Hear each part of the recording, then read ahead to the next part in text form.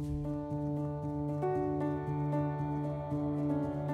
My name is Jess Heebner. Um, I'm a sixth year graduate student uh, at Penn State College of Medicine and Hershey. I am getting a PhD in biomedical science and clinical and translational science. It's a dual title degree. I am working in Matt Swulius's lab. We study primarily neuronal growth cones, which are the structure that guides developing neurons to their synaptic targets. We study them partially because they form synapses eventually, and we were very interested in that. They're also a very convenient structure to study by cryo they are very thin, and so you don't need to do any post modification to them after you freeze them. We're really interested in cytoskeletal rearrangement, the dynamics, the protein distribution, um, and really kind of creating visual proteomes of all of the, the components of the growth cone. I have been developing deep learning image analysis techniques for cryo-TEM. We are using that to really do some high throughput segmentations of our data. So we're going to use this award to get montage tomography up and running on our thermoscientific Titan Krios cryo-TEM so that we can then apply the deep learning methods and get segmentations of really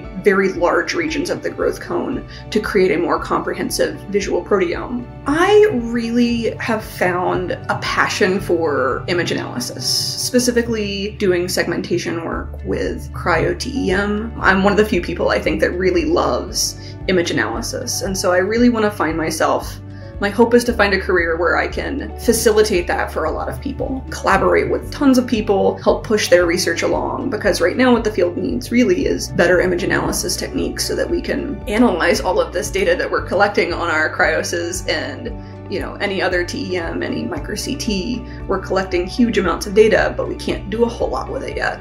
And so I want to be the person that helps drive other people's research forward.